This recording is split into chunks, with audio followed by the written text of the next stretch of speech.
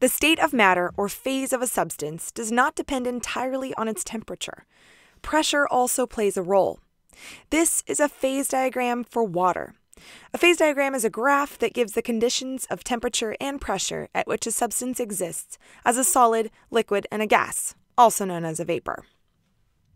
At standard pressure of 101.3 kilopascals, we can see the melting point of water at 0 degrees and the boiling point of water at 100 degrees Celsius.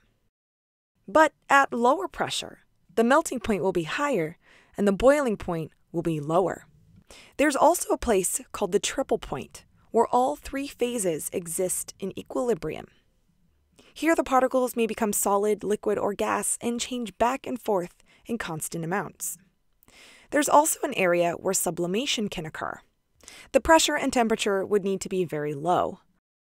But there are some substances that can do sublimation at room temperature and standard pressure, like dry ice, which is carbon dioxide, or mothballs.